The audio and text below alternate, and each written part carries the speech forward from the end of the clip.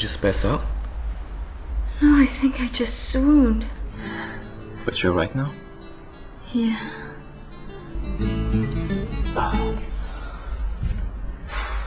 Hey, you made it, Mr. No Show. Sorry I got held up last time. I'm a very busy man. Have you perhaps seen my work?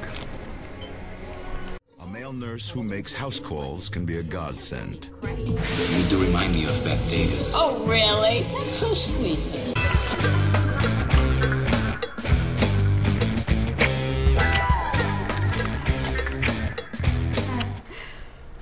Do out?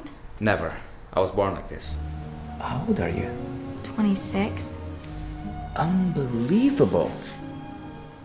You look like jailbait. What do you use? Maybe I could market it. Uh, how could you ask me something like that? What should I do What do you mean? to improve? Moving would help. When we speak of the truth, it must be done in love. Desiree.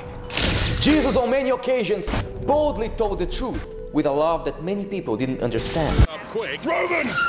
Get up! We can bring the whole gang! Next time, travel in style. I am feeling really excited for this date because Julie was great. I expect nothing less but a great date. Honey, I'm so sorry I kicked you. Oh my god! Jesus! That's great! hey! Oh, you look gorgeous. Thank you so much. I love your dress. Uh, what do we have here? Oh, maybe I can call Brazil. Hi, Mom.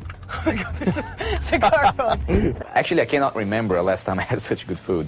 And the Um, company? The company was a 10. Come on in here. My name is Guile Branco. Such an important occasion today. I, I'm wearing my best outfit. Thank you for dressing It's like a puffy shirt. Yeah, you like that? Puffy shirt.